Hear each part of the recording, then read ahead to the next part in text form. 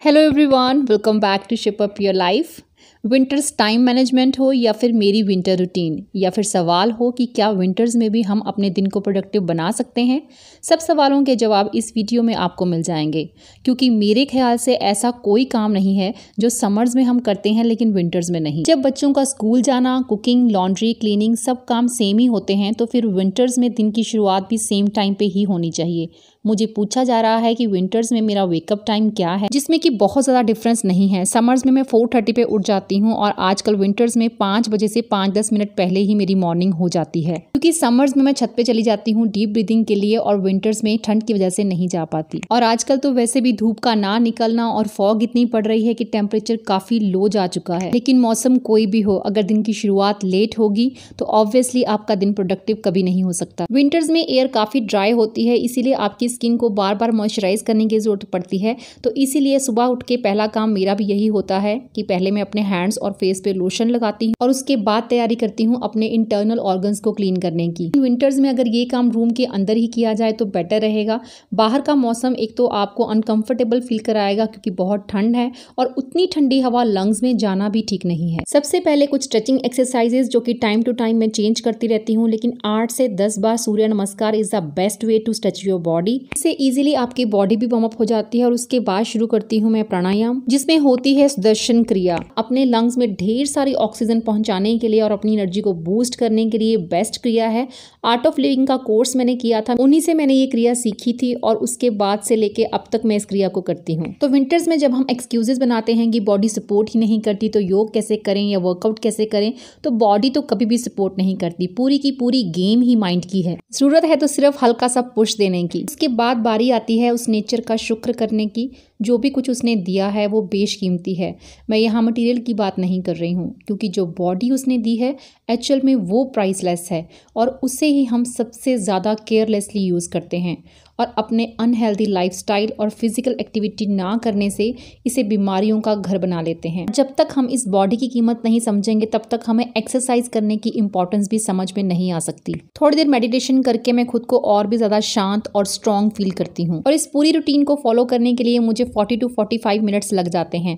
और six fifteen तक मैं आ जाती हूँ किचन में, क्योंकि सेवन टेन तक उदय की बस आ जाती है तो उससे पहले पहले मुझे ब्रेकफास्ट उसका टिफ़िन सब रेडी करना होता है। और अगर मेरे पास टाइम होता है तो मैं लंच भी साथ ही में रेडी कर लेती हूँ। इलेक्ट्रिकल कैटल में पानी रख दिया है गर्म करने के लिए, क्योंकि मुझे लेमन वाटर लेना है। और तब तक मैं लगा रही हूँ बर्तन जो रात को धोके रखे थे, जो ड्राई हो चुके होते हैं तो सुबह सबसे पहले उनको लगा देते हैं। आप कितने बजे भी उठते हो, लेकिन सोचना ये है कि उसी टाइम से आपके वर्किंग आवर्स शुरू हो जाते हैं। सो सोशल मीडिया और यहाँ वहाँ के फालतू गॉसिप्स को इग्नोर करके खुद को at least four to five hours के लिए बिज़ी कर लें, ताकि वन बाय वन आपके टू डू लिस्ट के सब काम खत्म हो जाएँ। और अच्छे से कवर किया हो तो विंटर्स में भी दही काफ़ी अच्छा जम जाता है, और अब बना रही हूँ मैं अपने लिए लेमन वाटर विंटर्स में लेमन हेल्थ के लिए अच्छा नहीं होता, ये बहुत बड़ा मिथ है। तो सीज़न कोई भी हो, मेरी तो मॉर्निंग की शुरुआत ही लेमन वाटर से होती है। और पिछले दो साल से तो आप भी मुझे लेमन वाटर पीते हुए देख रहे हो। अगर मुझे कोई प्रॉब्लम हुई होती तो मैं ज़रूर आपके साथ भी शेयर करती। आपकी स्किन और दूसरे यूजफुल टिश्यूज को मेंटेन करने के लिए वाइटामिन सी आपको हर सीज़न में चाहिए। और विंटर्स है, ये सोच के पानी पीना भी कम ना कर दें, क्योंकि इस मौसम में स्वेट नहीं आता है तो सिर्फ़ और सिर्फ़ यूरिन के थ्रू ही हमारा बॉडी वेस्ट बाहर जाता है। विंटर्स में भी एक राइट अमाउंट ऑफ़ वाटर पीना ज़रूरी है। और फ्रिज से निकालनी है वो वेजिटेबल्स जो मैंने रात को ही चॉप करके रखी थी तो ये है गाजर। और साथ ही में ये पीस मम्मा ने छील के धो के रख दिए थे, इनको भी फ्रीज नहीं किया है, और ये कुछ फ्रोजन पीस हैं। और साथ ही ये ब्रोकली है, जिसको मैंने काट के ब्लांच कर लिया था और इसको फ्रीज कर लिया है। ब्रोकली वैसे भी बहुत जल्दी येलो हो जाती है बट इस तरह रखने से वो काफ़ी लंबा टाइम चल जाती है और जितने भी पीसीज आपको चाहिए, आप आराम से निकाल सकते हैं और बहुत सारे मील्स में यूज़ कर सकते हैं। तब तक आप बाकी की तैयारी करें थोड़ा सा गर्म पानी डाल के इसको साइड रखते हैं, जैसे कि मैंने फ्रोजन पीस में भी डाल दिया है। उदय के टिफ़िन के लिए प्लस हम सबके ब्रेकफास्ट के लिए आज मैं बना रही हूँ पोहा। तो सबसे पहले मैंने पोहा को गर्म पानी में थोड़ा सा डिप कर दिया था दो चार मिनट के लिए, उसके बाद इसको रख दिया छन्नी में निकाल के। और साथ ही रेडी करेंगे हम तड़का। कढ़ाई में थोड़ा सा तेल डाला है और साथ ही ऐड कर दी है उसमें थोड़ी सी राई। और वेजिटेबल्स डालती जाऊँगी। सबसे पहले मैंने डाली है उसमें गाजर और उसके बाद डाल दी हूँ कटी हुई शिमला मिर्च। साथ ही डाल देंगे ब्रोकली जो कि हमने पानी में डिप करके रखी थी और मटर भी डाल दिए हैं। वेजिटेबल्स आप अपनी चॉइस की डाल सकते हैं और वैसे भी आजकल विंटर्स है तो बहुत सारी वेजिटेबल्स मिल जाती हैं। थोड़े से मशरूम डाल दिए हैं, कटे हुए ग्रीन चिलीज डाल दी हैं। सबको थोड़ा सा मिला लेना है, उसके बाद डालेंगे सॉल्ट टर्मरिक पाउडर थोड़ा सॉटे करेंगे इनको, सब्जियों को थोड़ा सा पकने दें, बहुत ज़्यादा पकाने की ज़रूरत नहीं है। इस वक्त टाइम हो गया है सिक्स थर्टी थोड़ी सी हमने ये घड़ी लाइक टेन मिनट्स हमने इसको आगे रखा हुआ है और बाहर का वेदर मैं आपको दिखाती हूँ। और आप देख सकते हैं कि अभी तक भी कितना अंधेरा है और हर तरफ़ फॉग ही फॉग नज़र आ रही है। और समर्स की बात करूँ तो इस वक्त तक मैं स्टफी को वॉक से लेके वापस भी आ चुकी होती हूँ। और देख सकते हैं आप, ऐसा लग रहा है कि बारिश हुई है, लेकिन ये बारिश नहीं, ओस की वजह से गीला है। और इतने में ही सब्ज़ी पक चुकी थी तो मैंने आते ही डाल दिया है इसमें पोहा। इन सब चीज़ों को बस अच्छे से मिला लेना है।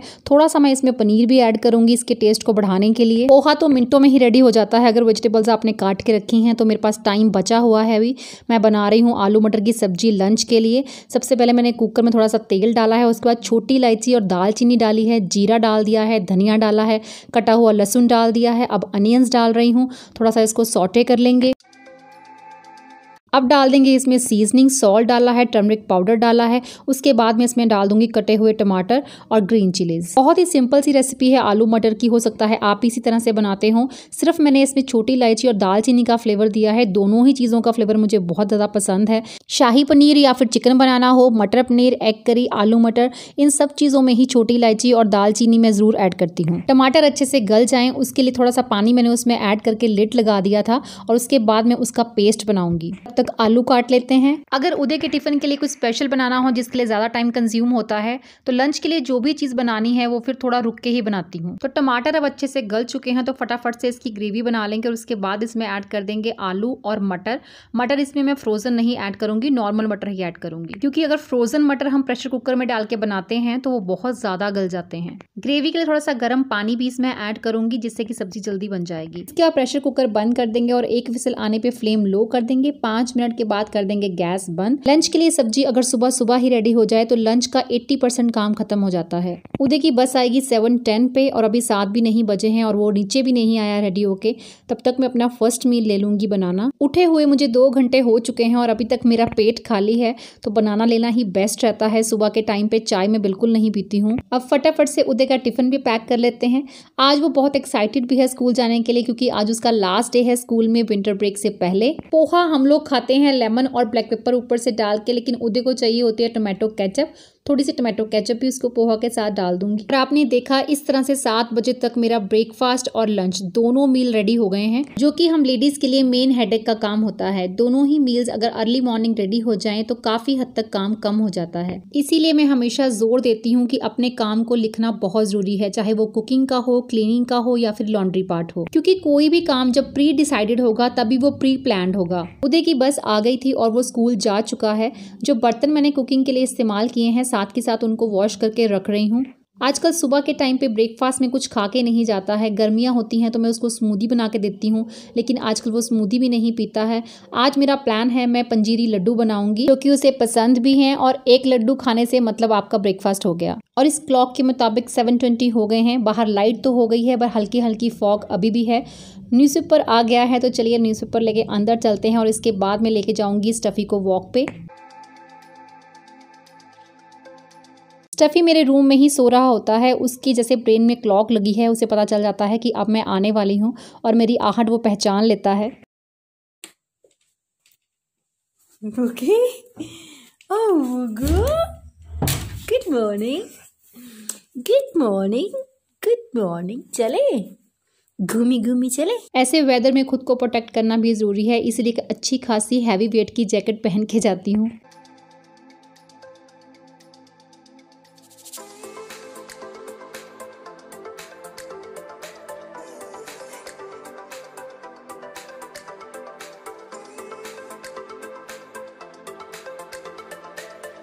फोर्टी मिनट्स की वॉक के बाद मैं और स्टफ़ी वापस आ गए थे और आते ही मैंने अपना बेडरूम थोड़ा सेट किया। एट थर्टी के अराउंड हम लोग ब्रेकफास्ट कर लेते हैं और दूध बना रही हूँ मैं अपने हस्बैंड और मदर के लिए। वो हल्दी डाल के दूध पियेंगे और मैं दूध नहीं पीती हूँ। गाइज़ मुझे अच्छा नहीं लगता है। सब लोग मुझे पूछते भी हैं कि मैम, आपको दूध पीते हुए नहीं देखा? मैं या तो ग्रीन टी लेती हूँ या फिर कॉफ़ी पीती हूँ और दूध की बजाय मैं दही खाना ज़्यादा पसंद करती हूँ। और यहाँ हम सबने ब्रेकफास्ट कर लिया है और ब्रेकफास्ट के बाद डिशेस और किचन क्लीन करने का काम मम्मा का होता है, जो मैंने उन्हें बिल्कुल नहीं दिया है। एज उनकी सेवेंटी प्लस है, लेकिन वो बहुत काम करते हैं। उनका कहना है कि काम करती रहूँगी तो चलती फिरती रहूँगी, नहीं तो बिस्तर पे पड़ जाऊँगी। और उनका ये सोचना काफ़ी हद तक सही भी है, क्योंकि बॉडी को हम जिस तरह का बनाए, वो उसी तरह की बन जाती है। Eight thirty to nine breakfast time होता है और साथ साथ कुछ ना कुछ गपशप भी चलती रहती है। तो नाइन थर्टी के अराउंड में क्लीनिंग पार्ट शुरू करती हूँ। ट्यूजडे है तो ट्यूजडे को मैं मोस्टली कारपेट्स और रग्स वगैरह वैक्यूम करती हूँ, लेकिन अब विंटर्स हैं तो विंटर्स की वजह से बहुत ज़्यादा डस्ट होती नहीं है। और क्लीन चीज़ों को क्लीन करके अपना टाइम वेस्ट करने की बजाय उस टाइम को कहीं और यूटिलाइज कर सकते हैं। तो मैं यहाँ पर सिर्फ़ डाइनिंग एरिया की डस्टिंग कर रही हूँ। घर छोटा हो या बड़ा ईच एंड एवरी पार्ट की क्लीनिंग तभी पॉसिबल है अगर आपने डेज़ और एरिया पहले से ही डिसाइड करके रखे हैं। और इस तरह काम करने से काम एक बर्डन नहीं लगता।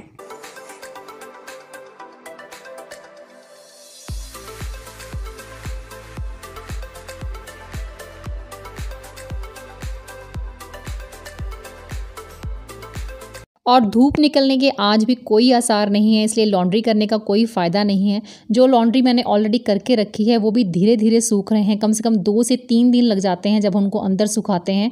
तो साथ के साथ जितने सूखते जाते हैं, उनको फोल्ड करके रखती जाती हूँ। कुछ कपड़ों को मम्मा नीचे फोल्ड कर रहे हैं, कुछ को मैं यहाँ ऊपर ले आई हूँ। जो मेरे रेगुलर फॉलोअर्स हैं, वो शायद सोच भी रहे होंगे कि मैंने आज अपना वर्कआउट स्किप कर दिया है तो ये तो बिल्कुल नहीं हो सकता। वीक में फाइव डेज़ मैंने अपना वर्कआउट करना ही है, लेकिन हाँ उसका टाइम ज़रूर मैंने थोड़ा चेंज किया है, वो आगे आपको वीडियो में पता चल जाएगा। बस अब कपड़े सेट करने के बाद मैं खुद की ड्राई क्लीनिंग करूँगी। आप सोचेंगे कि वो क्या होता है? यानी कि विंटर्स में जब आप शार नहीं लेते हैं तो ड्राई क्लीनिंग ही कहते हैं। ऐसा नहीं है कि मैं किसी दिन नहाना स्किप करती हूँ। आजकल मैंने वो टाइम अपना शाम को रख दिया है और क्यों रखा है, वो भी आपको पता चल जाएगा। और ग्यारह बजे के अराउंड मैं बिल्कुल फ्री हो जाती हूँ तो इस टाइम का यूटिलाइज मैं अपने हिसाब से करती हूँ। सब कपड़े चेंज करने के बाद थोड़ी देर में अपना सोशल मीडिया चलाऊँगी, यानी कि जो मैसेजेस वगैरह आए होते हैं, मैं उनको चेक कर लेती हूँ इस टाइम पे। इस स्पेशल टाइम को मैं अपने रूम में ही स्पेंड करती हूँ। क्योंकि मुझे आज पंजीरी लड्डू बनाने हैं और लंच में अभी काफ़ी टाइम बाकी है तो पहले चलिए वही बना लेते हैं। बहुत ही ईजी रेसिपी है और यहाँ पे मैंने आयरन की एक कढ़ाई ली है और एक कटोरी डाली है, उसमें खसखस। इसको हम ड्राई रोस्ट करेंगे। जितनी भी चीज़ें ड्राई रोस्ट करने वाली हैं, सबसे पहले हम उन्हीं को रोस्ट करेंगे। तो यहाँ से एक से डेढ़ मिनट तक मीडियम फ्लेम पे मैंने इसे रोस्ट कर लिया है। और उसके बाद उसी कढ़ाई में मैंने डाल दिए हैं दो कटोरी के अराउंड व्हाइट तिल इसको भी हम एक से डेढ़ मिनट तक ही रोस्ट करेंगे या फिर जब तक इसमें क्रैकर्स ना आने लगे, तब तक इसको रोस्ट करना है, बहुत ज़्यादा ब्राउन नहीं करना है। हल्का हल्का जब ये ब्राउन होने लगे, तब इसको हम निकाल देंगे और साइड रखते जाएँगे। इसके बाद मैंने कढ़ाई में डाला है आधी कटोरी के अराउंड जिंजर पाउडर, जिसे हम सौंठ का पाउडर भी कहते हैं। इससे काफ़ी अच्छा फ्लेवर आता है, टेस्ट बहुत अच्छा आता है। लेकिन अभी मैंने थोड़ा सा लिया है, अगर मुझे कमी लगेगी तो मैं बाद में भी डाल सकती हूँ।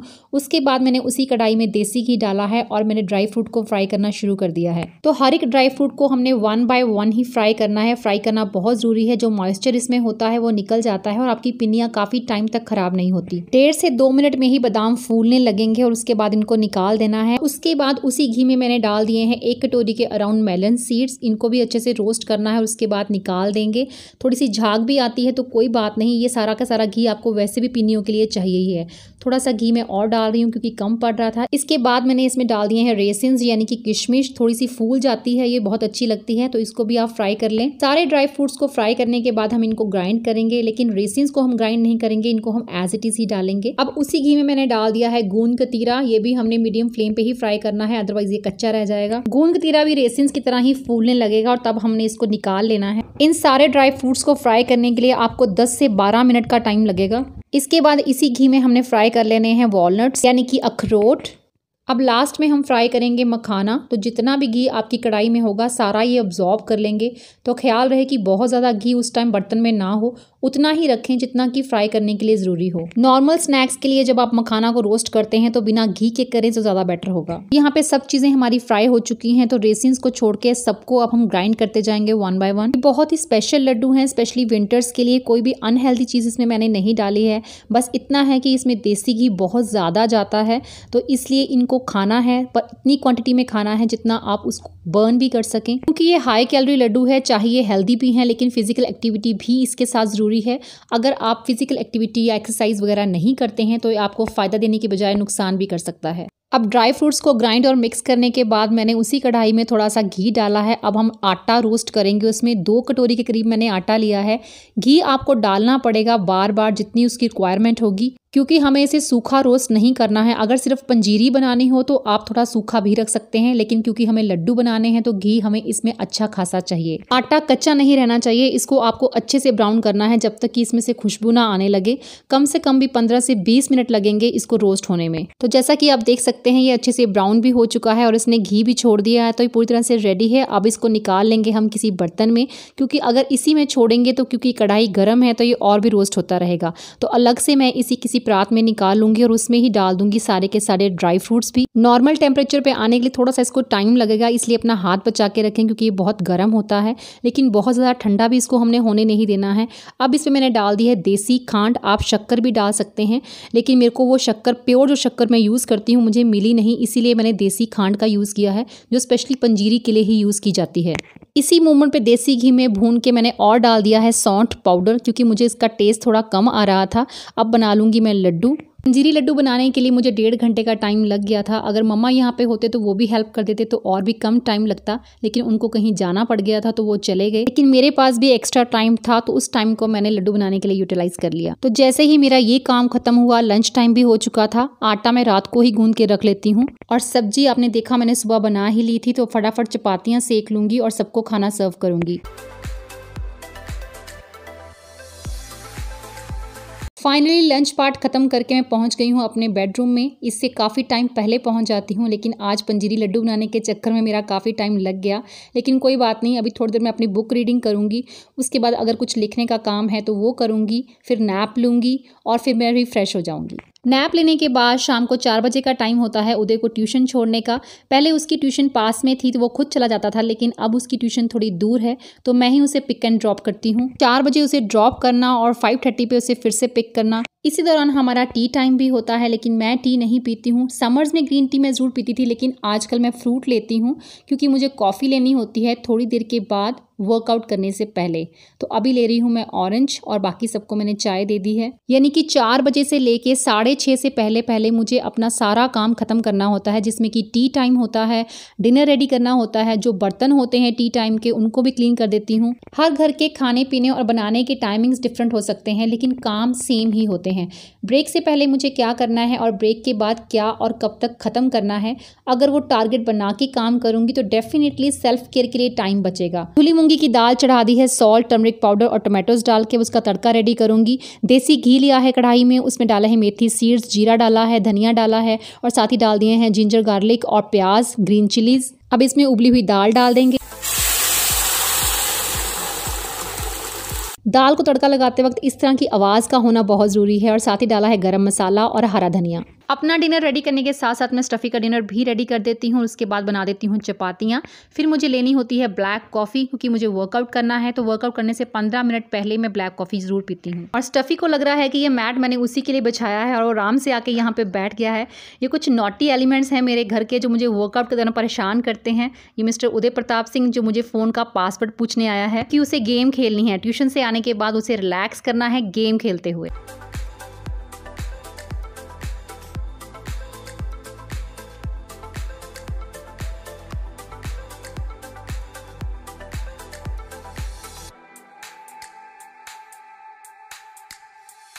हम में से बहुत सारे लोग विंटर्स आते ही एक्सरसाइज करना छोड़ देते हैं, क्योंकि उन्हें लगता है कि बॉडी में इतनी एनर्जी नहीं है या वो बहुत ही लेजी फील करते हैं। लेकिन मेरा मानना है कि विंटर्स में एक्सरसाइज करना और भी ज़्यादा ज़रूरी हो जाता है, क्योंकि एक्सरसाइज करने से आपका टेम्परेचर और वेट दोनों कंट्रोल में रहते हैं। हाँ बॉडी को वार्म अप होने में थोड़ा सा टाइम लग जाता है, लेकिन अगर आप कार्डियो एक्सरसाइज पहले करते हैं तो आपकी बॉडी जल्दी वार्म अप हो जाती है। विंटर्स आते ही अगर हम पंजीरी लड्डू जैसी चीज़ें बनाते हैं ताकि हमारी हेल्थ अच्छी रहे और बॉडी हीटअप रहे तो ऐसी चीज़ों को खाने के साथ साथ उनको बर्न करना भी ज़रूरी होता है। घर में बना हुआ आप कुछ भी खाते हैं तो वो उतना नुकसान नहीं करता, जितना कि अगर बाहर का बना हुआ अनहेल्दी फ़ूड आप खाते हैं तो विंटर्स में वो आपके इम्यून सिस्टम को वीक कर देता है। दुनिया की किसी भी चीज़ को हम कंट्रोल नहीं कर सकते, लेकिन एक चीज़ है जिसपे कम्प्लीटली हमारा कंट्रोल होता है, और वो है हमारी चॉइसेस वो चॉइसेस चाहे खाने पीने की हूँ या फिर एक्सरसाइज की। विंटर्स में हाइबरनेट होने की बजाय खुद को फिट और एक्टिव रखा जा सकता है। थोड़ा मेटाबॉलिज्म भी स्लो होता है, लेकिन एक्सरसाइज मेटाबॉलिज्म को भी बूस्ट करती है। विंटर्स में हार्ट भी अच्छे से काम करता रहे, इसलिए डोंट स्किप योर वर्कआउट। ठंड की वजह से स्टार्टअप ही थोड़ा सा मुश्किल होता है, उसके लिए पुश योर माइंड और स्टार्ट हो जाएँ, उसके बाद आपकी बॉडी जैसे हीटअप होती जाएगी, आपको एक्सरसाइज करने में और भी ज़्यादा मज़ा आएगा।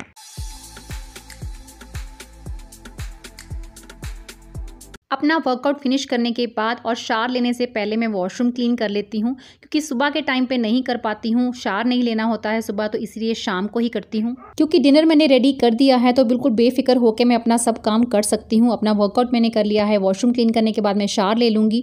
मुझे इस बात की कोई चिंता नहीं है कि डिनर अभी बनना है या कि सबको डिनर करवाना है। सब लोग अपना डिनर ले लेते हैं। सेवन टू सेवन थर्टी के बीच में पापा, मम्मा और बच्चे अपना डिनर खा लेते हैं। जब तक मैं शार लेके नीचे आती हूँ हस्बैंड भी आ चुके होते और आठ से साढ़े आठ बजे के बीच में हम लोग भी अपना डिनर कर लेते हैं। और यहाँ पे ये मस्ती चल रही है कि हम कैमरा में नहीं आएँगे। और यह है मेरी प्लेट जिसमें दाल है, साग है जो कल बनाया था। साथ में पापड़ लिया है मैंने। दाल और आलू मटर की सब्ज़ी ली है हस्बैंड ने। वर्कआउट करने के इमीजिएटली बाद में प्रोटीन शेक ही लेती हूँ, लेकिन आज हस्बैंड जल्दी आ गए थे ऑफ़िस से, इसलिए हमने सीधा डिनर ही कर लिया। और ये है मेरे बहुत ही प्रोडक्टिव डे का लास्ट काम चॉपिंग करना। सबसे लास्ट में चॉपिंग करती हूँ मैं रात को जब टीवी देख रहे होते हैं हम या फिर हम गपशप कर रहे होते हैं। नॉर्मली किचन में खड़े होकर चॉपिंग करना बहुत ही बोरिंग लगता है मुझे मैं कर नहीं पाती हूँ कभी भी।